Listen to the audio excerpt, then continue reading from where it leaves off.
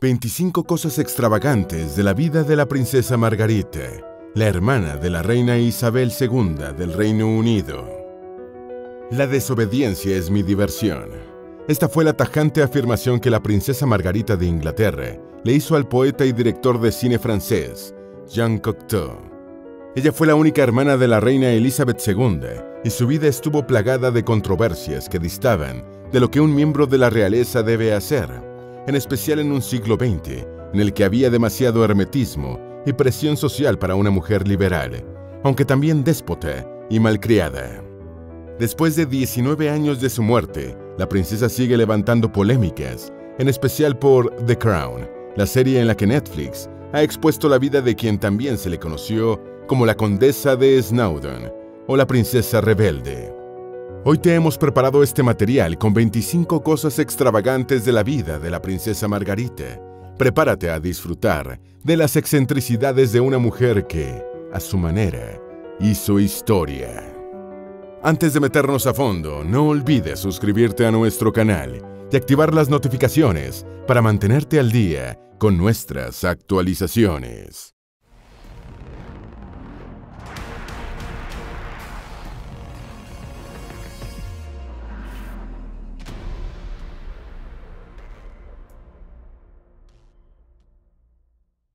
Número 1. De fiesta en fiesta.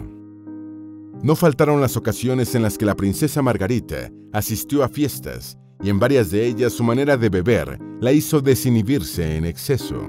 Una de las fuentes que afirma esto es la biografía Darling, 99 Vislumbers, de la princesa Margarita, escrita por Craig Brown.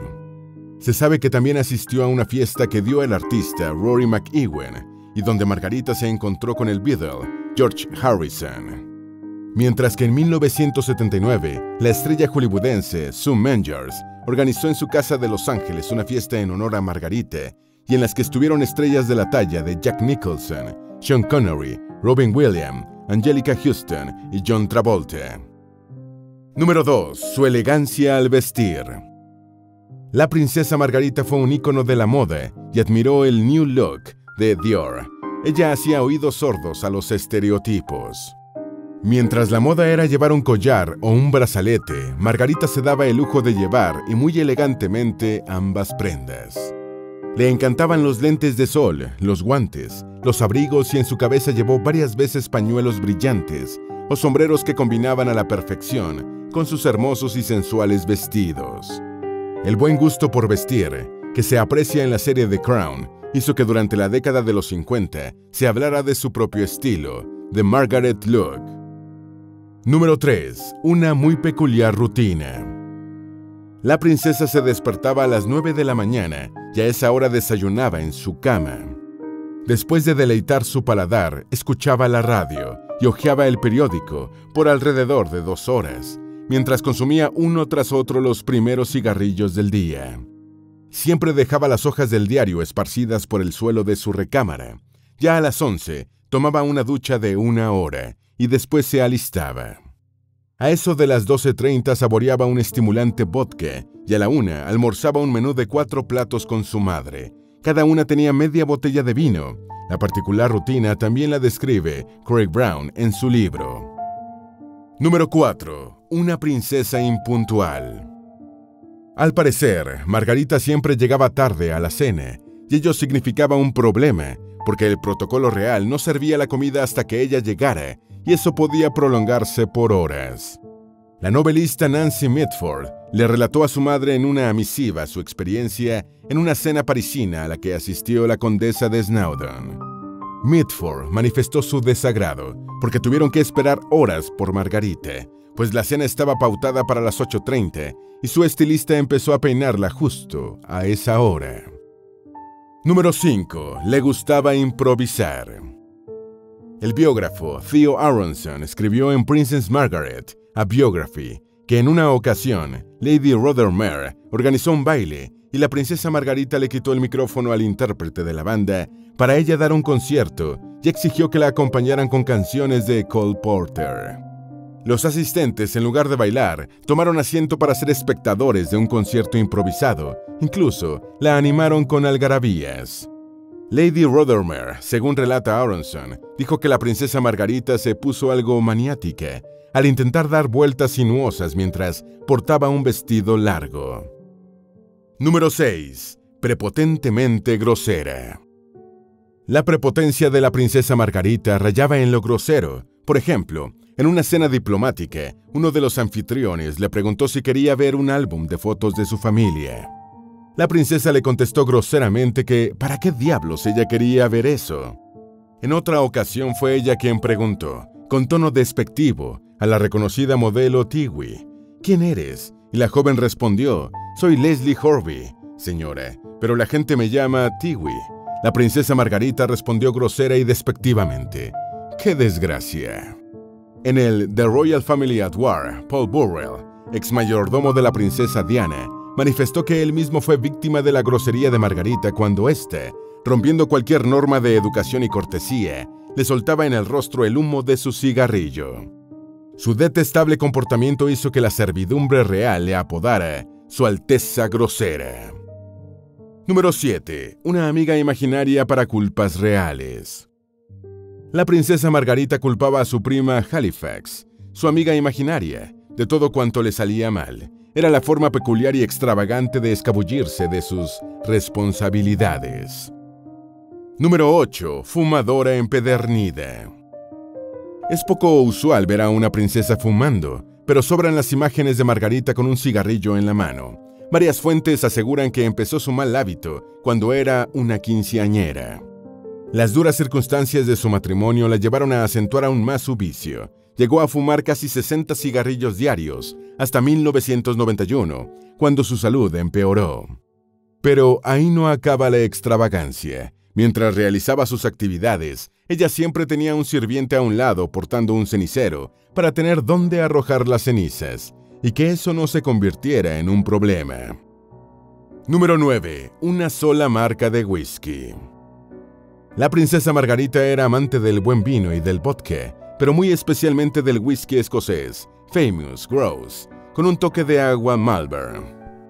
Cualquier otro whisky lo rechazaba, sin importar la ocasión, y eso lo sabían muy bien sus anfitriones. Por ello, estos procuraban contar con esa marca escocesa. De hecho, las embajadas británicas se aseguraban de que el Famous Grouse no faltase en las reuniones oficiales a las que ella asistía en el extranjero. Se sabe de una anécdota ocurrida a mitad de la década de 1980. Ella estaba en una destilería de Macallan cuando rechazó un vaso del famoso whisky de Malta única. El cigarrillo y el alcohol por años fueron sus eternos acompañantes. La princesa Margarita se mostró varias veces con un cigarrillo en una mano y en la otra el vaso de whisky. Número 10. Particular hobby artesanal. La princesa Margarita pegaba la superficie de frotamiento de las cajas de cerillos a los vasos para encender más fácilmente cada cigarrillo. Número 11. Romance clandestino. Margarita tuvo un amorío con el destacado y apuesto capitán Peter Townsend, escudero y hombre de confianza del rey Jorge VI. Él era 16 años mayor que ella.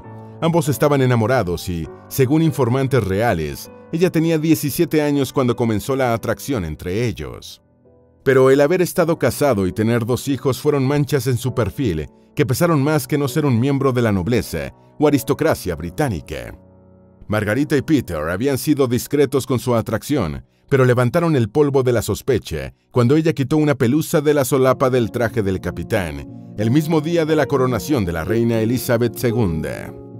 La prensa captó el incidente y la noticia corrió como pólvora, tanto como la coronación misma, quizás hasta más.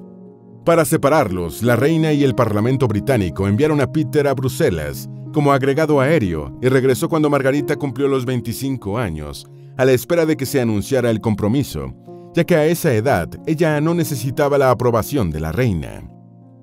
Número 12. Comunicado sorpresivo. A pesar de todo el escándalo inicial, la prensa y buena parte de los británicos esperaban con regocijo el anuncio del compromiso entre Peter Townsend y la princesa Margarita.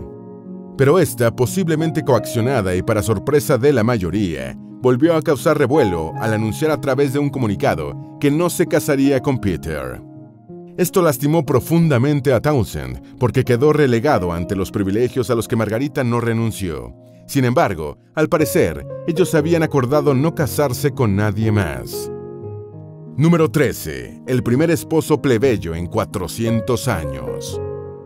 Margarita conoció en 1958 a un fotógrafo de revistas llamado Anthony Armstrong Jones. El fotógrafo compartía con la princesa el carácter rebelde, libre y hedonista, y aunque se presumía una bisexualidad en él, Margarita se sintió atraída, sobre todo después de que él hiciera una sesión fotográfica. Aún así, ella no olvidaba a Townsend. Cuando la princesa supo que Peter Townsend se casó y rompió así el acuerdo entre ellos, ella, presuntamente por venganza, decidió casarse con Anthony pocos meses después. Era la primera vez en cuatro siglos que un miembro de la realeza británica se casaba con un plebeyo, y este pasaría a ser el conde de Snowdon. Del matrimonio nacieron David Armstrong Jones en 1961 y Sarah Chato en 1964. Número 14. Su propia tiara. En 1959, la caprichosa princesa Margarita aprovechó una subasta para comprar la tiara que perteneció a Lady Baltimore. Ella pagó 5.500 libras por la joya fabricada en 1870 y que fue portada por la esposa del segundo barón de Baltimore durante la coronación de Jorge V de Inglaterra. La condesa de Snowdon usó esta diadema el día de su boda y no una de las de la familia real británica, como era lo usual. También lució la tiara en una polémica foto que su esposo le tomó estando en la bañera desnuda. Este momento, aunque con cambios notorios, se muestra en la serie The Crown. Número 15. Boda de lujo. La princesa Margarita y Anthony Armstrong Jones se dieron el sí el 6 de mayo de 1960. La boda fue mucho más lujosa que la de Elizabeth y Felipe, fue la primera en transmitirse por televisión y cerca de 300 millones de personas en todo el mundo fueron testigos no presenciales. La ceremonia costó 86 mil libras esterlinas de la época y se usaron un arco floral de 60 pies y 20 pasteles. El vestido rompió con el estereotipo monárquico, porque no tenía pedrería ni bordados, pero su sencilla elegancia lo hizo el centro de innumerables elogios. Norman Hartnell, el diseñador real escogido por Margarita, usó 30 metros de tela para su confección. Al gasto de la boda hay que anexar 115 mil libras de la luna de miel de seis semanas por el Caribe en el yate Britannia. Número 16. No tenía mucho pudor. Durante su luna de miel, Lady Glenconner, la hija del quinto conde de Leicester y amiga entrañable de Margarita, invitó a la pareja para que pasaran unos días en la isla Mustic, ubicada al norte de Venezuela. Lady Glenconner afirmó que tan pronto llegaron, Margarita y Anthony se metieron a la playa y el traje de baño que llevaba puesto la princesa dejaba muy poco a la imaginación. Según la anfitriona, la recién casada dijo que eso no le importaba, que quien quisiera ver, que viera. Número 17. Terreno en Mustic como regalo de bodas. Colin Tennant, esposo de Lady Glenconner, era un aristócrata británico y propietario de la isla de Mustic, y le dio a la princesa como regalo de bodas un terreno de 10 acres en esa isla. Mustic fue uno de los lugares favoritos de la condesa de Snowdon, y donde se capturaron momentos muy escandalosos para ella y toda la monarquía de Reino Unido. Número 18. Le enfurecía perder. En la biografía que Corey Brown escribió, narra que en una ocasión la hermana de Elizabeth II tiró al suelo la tabla de un juego cuando le hicieron saber que una de sus respuestas era incorrecta. Estaba totalmente enfurecida. Número 19. Odiaba a las ardillas. ¿Te imaginas que alguien te golpee con un paraguas porque le das de comer a una ardilla? Este fue el ataque que recibió una mujer cuando la princesa Margarita la vio en un parque alimentando a las ardillas todo porque ella las odiaba. Número 20. Sexo con el amigo de su esposo. El matrimonio de Margarita comenzó a resquebrajarse después del nacimiento de la hija de ambos. El conde de Snowdon la maltrataba y le fue infiel, y cuando ella tuvo la primera oportunidad, se le insinuó al mejor amigo de su esposo y terminó en la cama con él. Número 21. Una relación con un hombre 17 años menor. En 1973, la princesa Margarita conoció a un jardinero paisajista de 25 años, Roddy Llewellyn, con quien comenzó una relación aún estando casada. Los paparazzis conocían esta historia y estaban al acecho hasta que la pareja fue fotografiada en la isla Mystic mientras tomaban un baño en la playa en febrero de 1976. Las fotografías fueron el argumento sensacionalista que la prensa difundió y la monarquía inglesa se vio envuelta en un bochornoso escándalo. El esposo de la princesa vio en las fotos la excusa perfecta para solicitar el divorcio.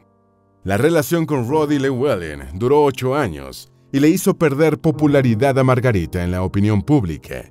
El Parlamento británico calificó a la princesa como denigrante y desagradecida. Su hermana, la reina, dejó de hablarle por varias semanas. Número 22. Primer divorcio real desde 1901. Dos meses después del escándalo de las fotos en Mystic, el Palacio de Kensington anunció que los condes de Snowdon se separaban y el divorcio se formalizó el 11 de julio de 1978. Este fue el segundo divorcio en el siglo XX de un miembro de la familia real de Reino Unido. El primero fue el de la princesa Victoria Melite, de Edimburgo, en 1901. Número 23. Aventuras con famosos. Margarita no distinguió entre nobles y artistas. A lo largo de su vida se le relacionó con figuras como el cantautor Mick Jagger, el actor y comediante británico Peter Sellers, el actor y escritor británico David Niven y con el actor y productor estadounidense Warren Beatty. Esto escandalizó a los miembros de la monarquía y del Parlamento británico. Número 24. Un posible amorío con un gángster. John Biden, actor vividor y presunto gángster, afirmó haber tenido un tempestuoso amorío con la condesa de Snowdon. Esta aventura se detalla en el documental El gángster y la princesa, emitido por Channel 4 en el 2008. Hay una foto de ambos tomada en 1974 en la isla Mystic, aunque Kenneth Rose, el biógrafo real, criticó el documental y negó tal relación. Número 25. Se presume que esnifó cocaína. Se especula que en 1967, en un concierto de los Rolling Stones, la hermana de Elizabeth II esnifó cocaína de una cuchara de plata. Al parecer, la condesa de Snowdon dijo, Ah, cocaína, una droga tan divertida, ¿no crees? Ese comentario hizo suponer que ya la había inhalado antes. Margarita dejó dos hijos y un legado controvertido. Fue una figura cuyas acciones la sometieron al escarnio. La que un día su padre denominó su alegría y se mostró déspota ante muchos, terminó sus días en una silla de ruedas hasta que falleció el 9 de febrero de 2002, a los 71 años, tras sufrir un accidente vascular cerebral. Sin embargo, sus excentricidades, para bien o para mal, aún viven en la memoria de muchísimas personas. Sin dudas, ella hizo historia. Esperamos que este video te haya sido útil si tienes algo que agregar, por favor, compártelo con nosotros en la sección de comentarios. Dale me gusta a este video y envíale el enlace a tus familiares y a tus mejores amigos para que también sepan más de las 25 cosas extravagantes de la vida de la princesa Margarita, la hermana de la reina Isabel II del Reino Unido. Si eres nuevo en nuestro canal, no olvides suscribirte. No se te olvide seguirnos en todas nuestras redes sociales, que van a estar aquí abajo en la descripción. Recuerda, un pueblo que no conoce su historia está condenado a repetirla.